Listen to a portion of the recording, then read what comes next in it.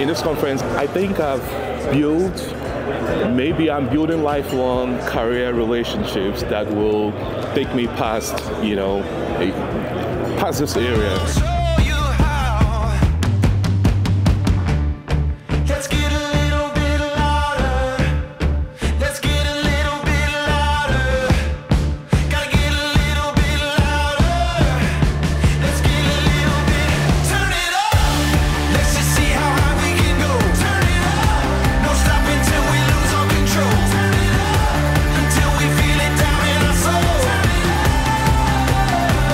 It's been great.